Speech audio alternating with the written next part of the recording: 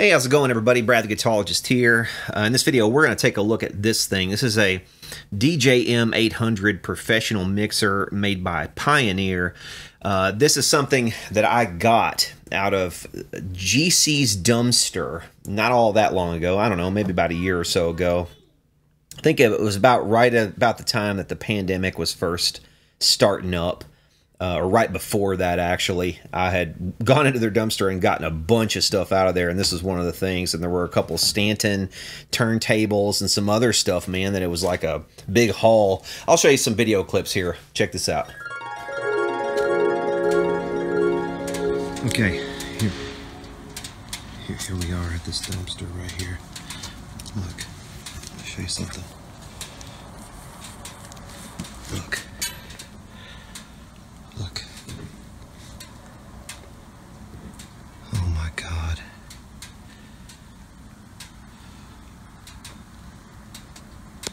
Holy shit, dude. So, what a haul, huh? Two Stantons, Kurzweil keyboard, bashed up case, about seven microphone stands, bunch of cables, and a, and what three or four of the uh, guitar stands, and then this. And what do I have here? I have no clue. Not a single clue. This was the first thing I grabbed out of there. Yeah, it's a DJ mixer. Pioneer DJM 800 professional mixer. So, you know, this is the one where you fade between them and all that stuff. It's obviously used. It's obviously a used piece of gear, but I wonder if it would work. I mean, it'd be interesting to test it out. Anyway, so there is my trip. There's my trip to the dumpster this week. Hope you guys enjoyed this one. Somebody, I guess, had seen that video and they emailed me the other day and asked me about this and if I still had it and if I wanted to get rid of it and if so, how much. I don't even know the state of the thing. I've never tried to plug it in. It has been sitting ever since that time. Who knows what this thing is going to do. This and this is the first time I've actually gotten any kind of a closer look at this.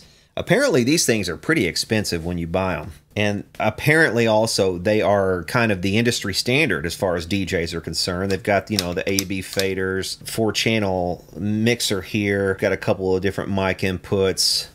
Here's our master volume We've got a monitor section where we can uh, monitor in the booth. Got a headphone out directly on the machine.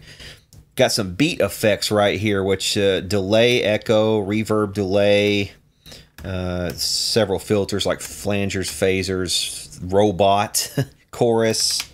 So stuff that you could do kind of on the fly when you're doing your DJ stuff. For whatever reason, uh, these four knobs, they probably were used more than any other knobs, I'm guessing. But why? I don't know why, because they're just the trim for the they're just the trim pots uh, for the channels. And once you set those, they should be pretty much set. I don't know why they would be the most worn out ones because it's not like you should be using those to fade between things. Uh, I don't know. Maybe they were misusing the trim as a volume, but you're supposed to use that to set it and forget it basically. But it looks like they've been used more than anything else. But those are easy enough to replace. It's just some knobs. Uh, and also the other thing I did notice is that one of these sound color effects buttons, this one, the filter, does not appear to be switching. It may be switching, but I just I just don't feel it doing anything with the maybe it is. There's a tactile switch there. It feels like maybe it's a bit I don't know, crudded up or something in there. We mapped it. These are working fine.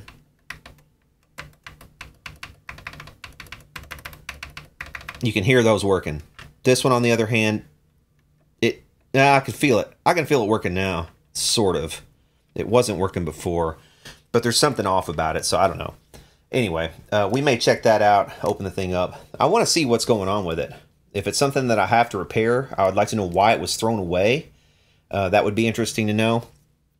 There's some kind of port here on the side, which is some kind of extension port or something. I should probably get a manual for this and maybe look into it a little bit more does look like um, maybe somebody had been into this thing. I, I don't know. We got a missing screw there, a missing screw there.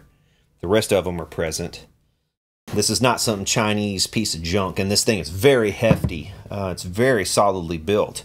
And look here. I mean, for sale for they had $499 $500 on it as a used piece of gear used pioneer five fun, 500 bucks you know i doubt they just threw away 500 bucks something had to have been wrong with it maybe it's something simple i've put 20 volts into it and nothing's happening it looks like it's periodically drawing a tiny amount of current and then nothing okay now we're getting something now we're getting something we do have something See there?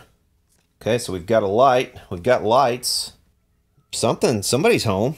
I can change from, let's see if I change from echo. Yeah. Okay, so something's happening. I'm only dialed up to 72 volts right now, which there will probably be a power regulator in this anyway, and it won't require full voltage to be operational. Uh, but let's go ahead and dial it on up, just like it would be if we, you know, plugged it directly into the wall. We'll put 120 volts on it. 120 volts, we're drawing 21 and a half watts of power, and it's it's on. Appears to be on. I guess I'll put a microphone in it and plug some headphones into it. Let's see. Wait. Okay. So wait a minute. So that filter switch is blinking.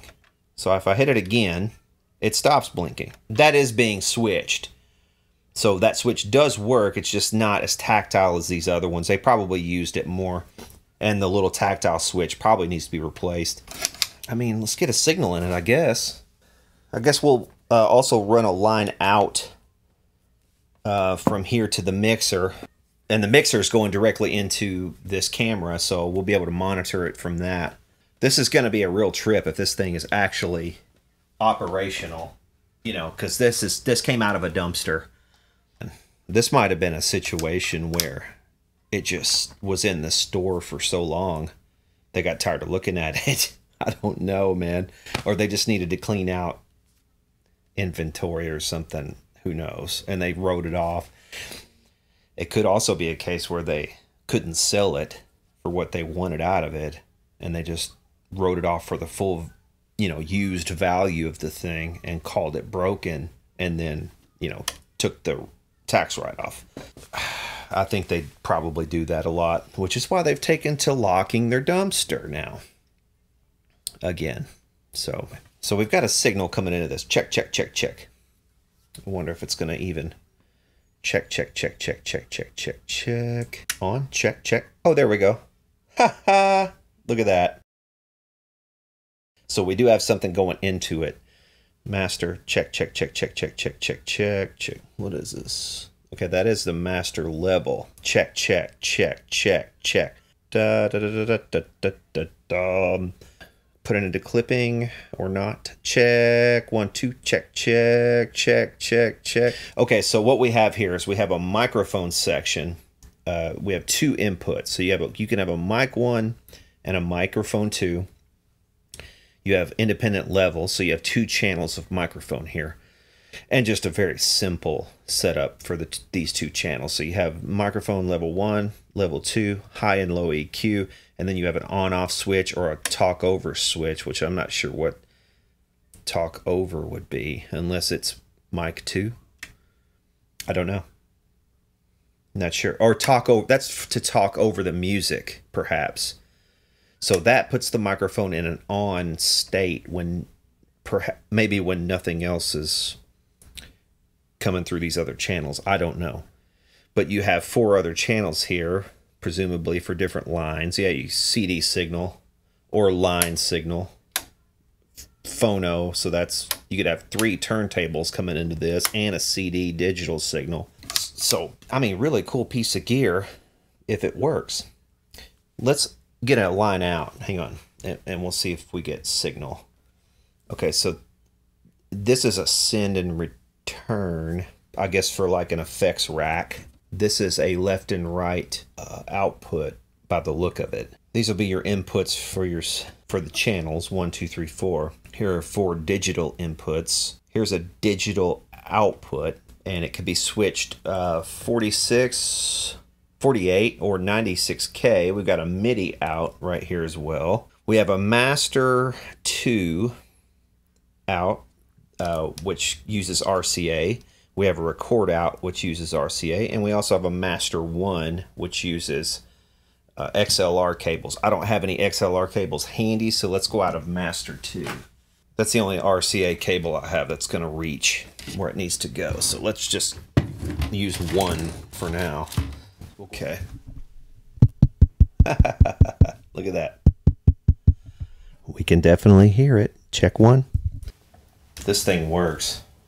This thing appears to work out of the dumpster yet again.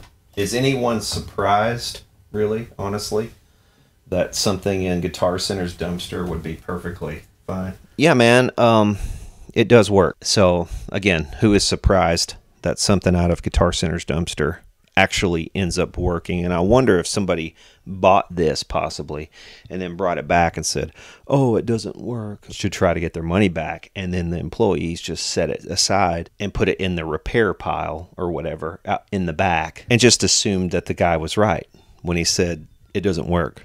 You know that that stuff happens. So you can see right here, filter, and then channel select one, two, three, four, and then microphone A B or MST. Then you've got a parameter and it tells you your tap beats per minute in the milliseconds. But see, I can change the channel with this knob.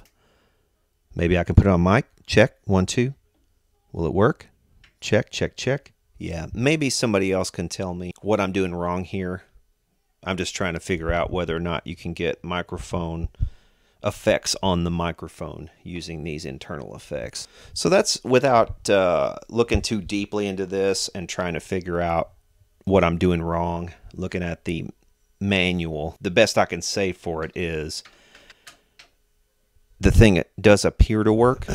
Okay, uh, I have a CD player here. We're going to try playing a CD. I'm not even sure if this thing works. I haven't used this. I found it for free in the garbage. So this might not work either. That's on delay. Okay, now this CD is, we'll give them full credit, Little Sue's New Light. There's a whole story behind um, this CD and the person that sent this to me, and we may get into that in another video. Uh, I wanted to save that story because it kind of touched my heart, so I want to relay that a different way. But we're going to use this for example. So that's delay.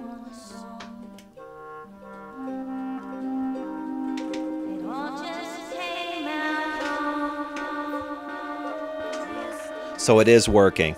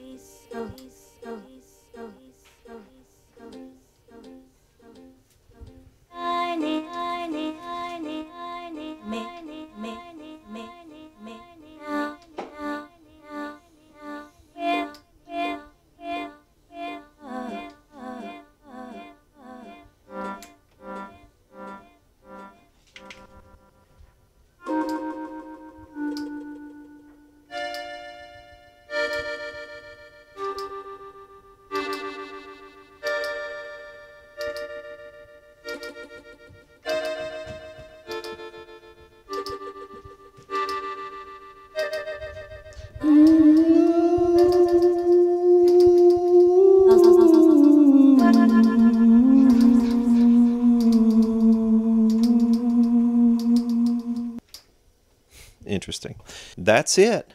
Yeah, man. Very cool.